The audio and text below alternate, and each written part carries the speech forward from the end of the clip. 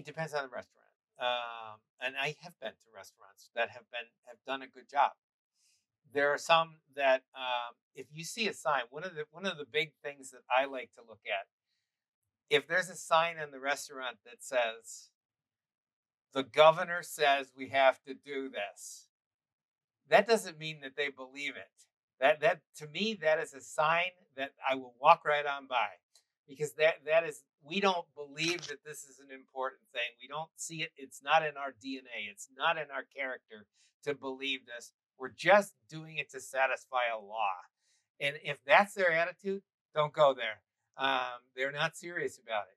You want people who are serious about taking care of their customers so that they come back. Nobody wants your customers base to die off. That is not a good thing.